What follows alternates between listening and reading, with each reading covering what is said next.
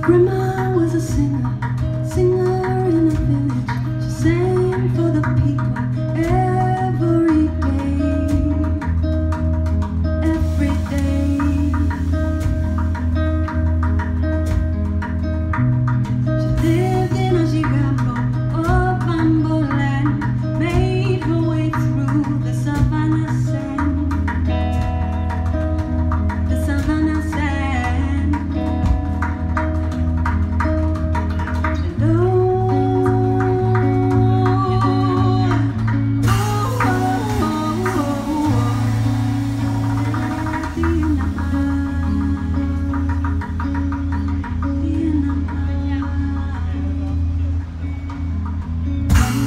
Mona